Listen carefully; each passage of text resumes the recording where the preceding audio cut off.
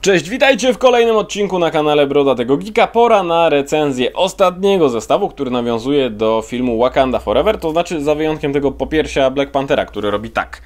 No, ale nie planuję na razie kupować tego zestawu, bo mnie nie przekonuje, ale ja często zmieniam zdanie i może tak będzie, ale dzisiaj bitwa na wodzie.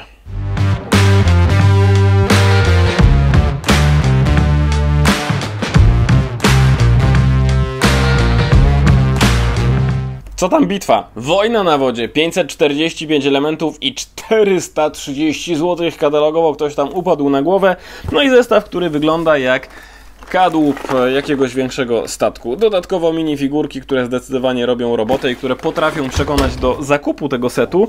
A tak poza tym, czy coś więcej jest e, mnie w stanie przekonać, nie mam zielonego pojęcia. Może okaże się, że ten statek jest naprawdę fajny, że on się otwiera, że w środku ma całą masę ukrytych e, rzeczy, które po prostu są ładne.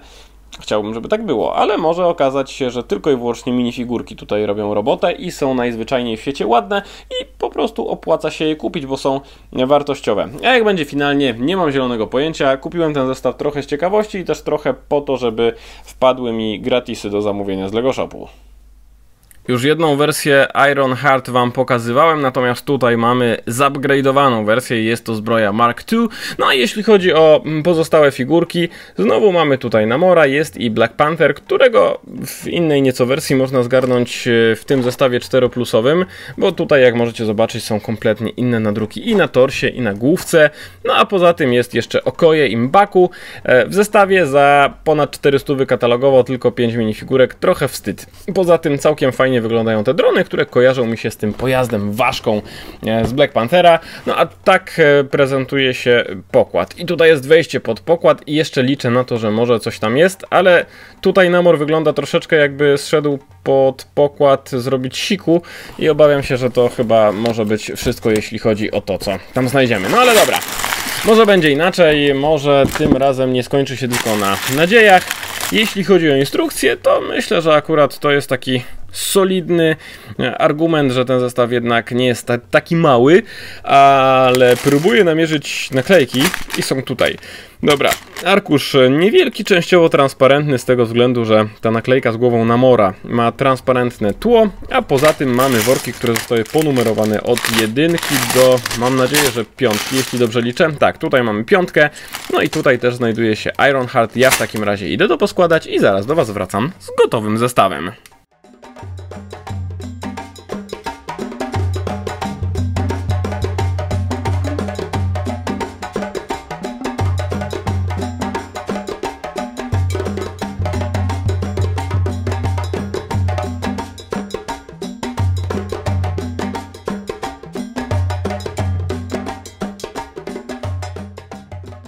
Mówi się, że nadzieja matką głupich.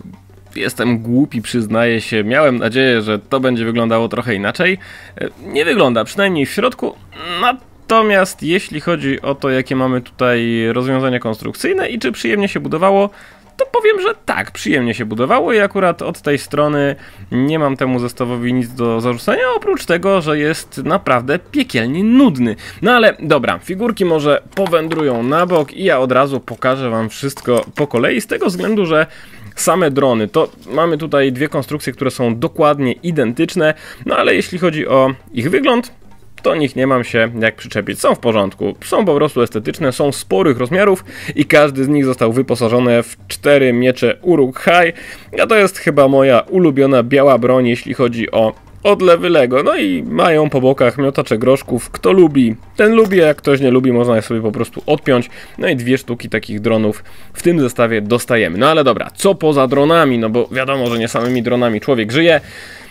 Mamy takie żelazko. I gdyby tutaj rzeczywiście dorobić rączkę, to można by z tego zrobić żelazko. Może ktoś kiedyś w LEGO Ideas zrobi takie żelazko, że LEGO po zdobyciu 10 tysięcy głosów powie dobra, wydajmy takie żelazko, przecież mieliśmy maszynę do pisania, to co żelazka nie możemy zrobić?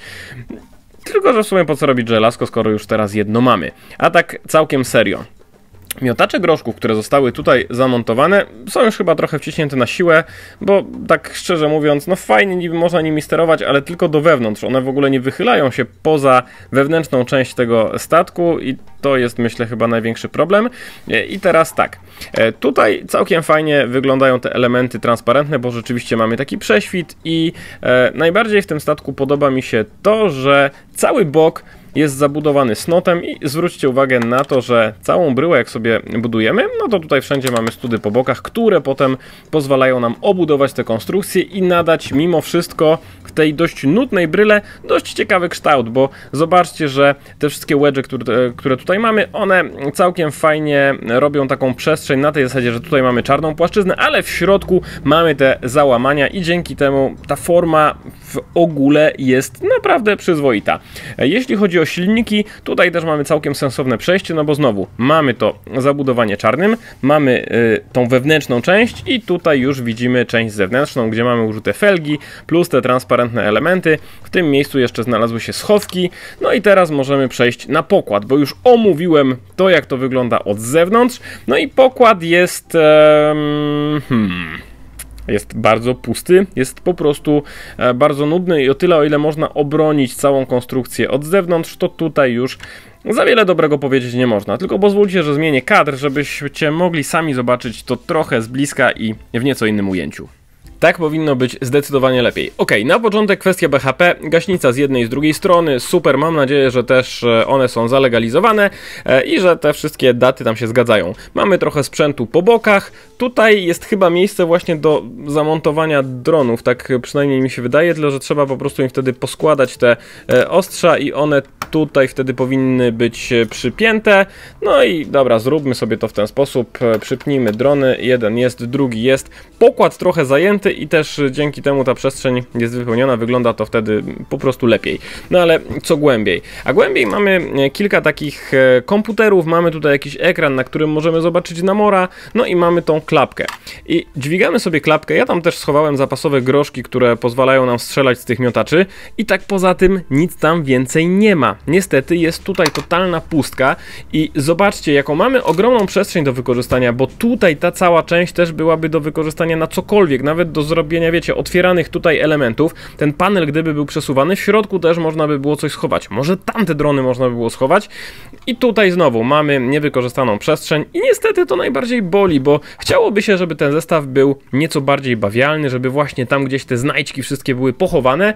No a niestety mamy jedną klapę w podłodze i to właściwie wszystko. Ok, tak jak mówiłem, są gaśnice, są te sprzęty, mamy tutaj nawet krótkofalówki, więc system łączności powinien działać i tak jak na początku trochę z dystansem podchodziłem do tego, jak to wygląda z zewnątrz, to tak jak mówię, sama bryła jest zrobiona mimo wszystko dość ciekawie, bo mamy tutaj te przełamania, zagięcia i tak dalej, plus te silniki też mimo wszystko są estetyczne i dają radę, no ale to jak został już e, przygotowany pokład i to co pod nim, to już niestety jest rzecz, której ża w żaden sposób nie jestem w stanie obronić i znaleźć jakiegoś sensownego wytłumaczenia.